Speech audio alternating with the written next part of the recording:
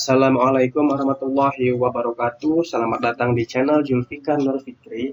Di video kali ini kita akan belajar bagaimana caranya menggunakan fitur data validation yang ada pada Microsoft Excel. Buat teman-teman yang baru mau belajar Microsoft Excel, silahkan ditonton dulu aja videonya sampai selesai ya. Oke, langsung saja mulai. Di sini saya menggunakan Excel 2016 ya. Dan di sini saya telah menyiapkan sebuah tabel kosong yang nantinya akan kita isi dengan data nilai siswa. Kemudian untuk sheet keduanya, saya juga telah membuat tabel kosong yang nantinya akan kita isi dengan data karyawan. Oke, tabel-tabel inilah yang akan kita jadikan sebagai bahan belajar kita di sesi ini. Oke, lanjut. Di sini kita akan belajar cara penggunaan sederhana fitur data validation pada Excel ya. Seperti yang teman-teman ketahui, untuk data validation ini sendiri biasanya digunakan atau berfungsi untuk membatasi nilai-nilai yang masuk pada sebuah sel atau range ya dengan tujuan untuk meminimalisir atau mengurangi terjadinya kesalahan saat input data. Oke, jika teman-teman masih bingung, silahkan ditonton dulu aja videonya ya. Oke, langsung saja. Di sini kita akan input nilai siswa ya. Ada NIS, ada nama, ada nilai ya. Dari masing-masing kolom ini terdapat aturannya sendiri-sendiri ya. Oke, untuk NIS itu bentuknya seperti ini ya, S001. Di sini kita akan beri aturan di mana panjangnya karakter atau banyak karakter di sini itu empat karakter, tidak boleh kurang dan tidak boleh lebih ya. Kalau misalkan inputnya kurang atau lebih, maka harus error atau tampilkan pesan error. Seperti itu ya, aturannya akan kita terapkan di Economist. Langsung saja kita eksekusi. Langkah pertama adalah silakan teman-teman blok terlebih dahulu kolom yang akan diberikan data validation. Selanjutnya silakan teman-teman masuk ke menu data, kemudian klik data validation. Di sini akan muncul book dialog ya. Pada tab setting, silakan teman-teman pada bagian allow pilih yang text length ya, panjang data. Kemudian yang bagian datanya silakan teman-teman pilih yang equal to ya sama dengan lengthnya panjangnya itu 4 karakter. Jadi panjangnya teks itu sama dengan 4. Jadi tidak boleh kurang, tidak boleh lebih. Seperti itu ya. Door blank ini dicentang boleh enggak apa-apa. Selanjutnya tab input message. Untuk tab ini opsional ya, boleh digunakan, boleh enggak. Kalau misalkan enggak digunakan, tinggal dihilangkan saja centangnya ya atau checklistnya. Kalau misalkan mau dipakai atau digunakan, tinggal di checklist, kemudian kasih judul ya atau sama pesannya di sini ya. Untuk di sini kita tidak gunakan dulu ya, berarti kita hilangkan saja checklistnya. Selanjutnya di tab error, sini kita akan setting stylenya stop ya. Error alert ini pesan akan tampil ketika error muncul ya. Kita pilih stop aja, jadi ketika error terjadi, dia akan kembali ke sel semula ya. Kita pilih stop, kemudian judulnya kita kasih error. Selanjutnya pesannya adalah this harus 4 karakter ya ini sebagai contoh aja ya, terserah teman-teman kata-kata yang mau seperti apa.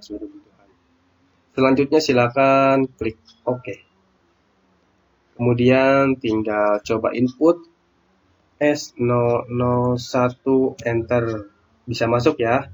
Sekarang kita coba S0002 enter. Nah, gagal ya. Kenapa? Karena dia ada berapa karakter? Ada lima karakter ya, sedangkan kita memiliki aturan harus empat karakter, jadi muncul error. Ulangi, coba kalau misalkan kita kasih S01 enter sama error juga karena dia cuma tiga karakter, sedangkan kita harus empat. Oke, ulangi sampai sini berarti validasi kita sudah berhasil ya. Sampai sini sudah ada gambaran? Sudah ya harusnya ya. Ya lanjut. Berhubung ini sudah berhasil, uh, cancel kita tarik ke bawah biar cepat nah selanjutnya adalah bagian nama ya nama ini kita akan berikan aturan minimal tiga karakter ya minimal tiga karakter Jadi kalau kurang dari tiga itu error. Ya, langsung saja kita eksekusi. Pertama silakan blok, kemudian data validation, lalu ke tab setting. Allow, kita pilih text length. Datanya kita pilih yang greater than or equal to ya. Jadi lebih besar dari atau sama dengan tiga ya. Jadi minimal tiga lah di bawah tiga itu nggak bisa. Kemudian untuk input message kita hilangkan saja error kita tetap pilih stop ya stylenya kemudian ditulis error kemudian di sini pesannya nama minimal tiga karakter. Oke sekarang kita coba input. Aceng enter bisa ya karena dia 5 karakter. Adi masih bisa ya karena dia pas banget di karakter. Sekarang coba AI enter.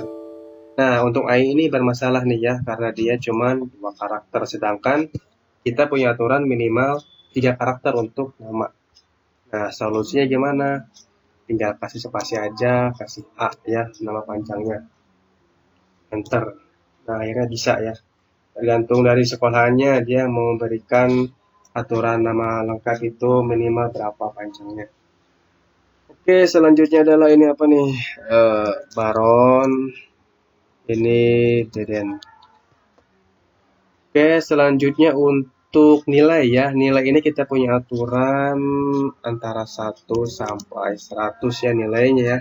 Jadi kalau misalkan di atas 100 itu error dan di bawah 0 juga error. Oke, kita akan langsung terapkan. Kita blok terlebih dahulu, kemudian data validation, lalu setting, Lalu ini uh, apa ini? Ini ya, wall number. Wall number karena memang cuma angka, hanya angka yang boleh masuk. Kemudian between ya antara antara 0 sampai 100. Ini minimal 0, maksimalnya 100. Selanjutnya adalah input message, kita hilangkan saja errornya. Error uh, nilai antara 0 sampai 100 ya. Kata-katanya terserah teman-teman aja ya bebas ya, sesuai dengan kebutuhan. Oke, oke, di sini kemudian silakan coba input 0. 0 masih bisa masuk ya. 99 masih bisa masuk, 100 bisa. Coba kita 101 enter. Nah, nggak bisa ya karena 101 ini lebih dari 100 jadi gak bisa error selanjutnya adalah kita retry dulu coba kita min 1 enter error juga ya karena minimal itu 0 oke sampai sini udah berhasil berarti ya sekarang kita tarik aja 100 saja semuanya ya Oke, sampai sini kita sudah selesai. Lanjut kita ke contoh yang kedua. Contoh kedua kita akan input untuk karyawan. Untuk nick itu mempunyai aturan yang sama seperti NIS ya. Nicknya seperti ini bentuknya. Jadi dia punya empat karakter, tidak boleh kurang, tidak boleh lebih, huruf, angka boleh masuk. Oke, kita akan terapkan. Silakan blok dulu masuk ke data validation, setting, load, text length, kemudian ini equal to 4 cut 001 enter. Cut 01 enter gak bisa ya. Di error. Oh iya. Tadi lupa ngasih pesan errornya ya kita edit kita buat dulu. Pesan errornya lupa. Stop. Error. Nick harus 4 karakter. K0001 enter. Nick harus 4 karakter kayak Gak bisa berarti ya. Udah sukses berhasil validasinya sekarang kita tarik aja. Selanjutnya bagian nama kita juga punya aturan yang sama minimal 3 karakter. Blok, kemudian data validasi, setting, value, value, text length, kemudian greater than or equal to minimal 3. Lalu input message uh, error uh, stop kemudian ini error. Ini apa nih? Nama minimal tiga karakter. Oke silahkan coba masukkan lagi. Aceng tadi I, I error berarti ya. I A Baron terus Deden. Oke okay, fix. Nama udah selesai selanjutnya jenis kelamin untuk jenis kelamin ini kita akan buatkan list aja ya. Jadi uh, pilihannya kita sediakan. Jadi kalau misalkan orang disuruh ngetik seperti ini khawatir yang ini laki-laki yang bawah pria ya. Jadi kayak konsisten. Jadi lebih baik kita sediakan saja pilihannya ya. Cuma laki-laki dan perempuan. Oke, langsung saja kita eksekusi. Pertama blok, lalu kita data validation, ke setting, lalu kita bikin list ya, karena kita akan buat list. Ini centang, centang, source-nya, pilihannya apa. Jenis kelamin pertama laki, laki. Tanda pemisahnya dari koma, perempuan. Selanjutnya di tab input message silakan error error harus pilih list yang ada begitu aja ya. Kemudian oke. Okay. Di sini muncul laki-laki, di sini laki-laki perempuan. Coba ketik sembarang. Enter. Ya bisa ya, harus pilih list yang ada ya dia harus pilih di sini laki-laki laki-laki. Sampai sini mudah ya. Untuk pembuatan list menggunakan data validasi mudah sekali. Untuk level juga kita akan berikan list ya. Cuma ini level agak banyak datanya. Jadi kita uh, buat tabel sendiri dulu ya. Data master levelnya kita buat dulu. Di sheet yang berbeda di sini kita buat level. Misalkan ada helper, ada staff, ada apa lagi? Supervisor, manager, general manager. Nah, segini aja ya. Kita buat aja dulu deh. Look, ini kita kasih warna. Ini kita lebarin. Oke, kita punya sheet level ya. Kita ke sini coba kita blok dulu lalu kita kembali ke data data validation setting. Setting ini ya bikin list source-nya kita arahkan ke sheet 3 lalu blok ini ya. Blok ini ya helper sama general.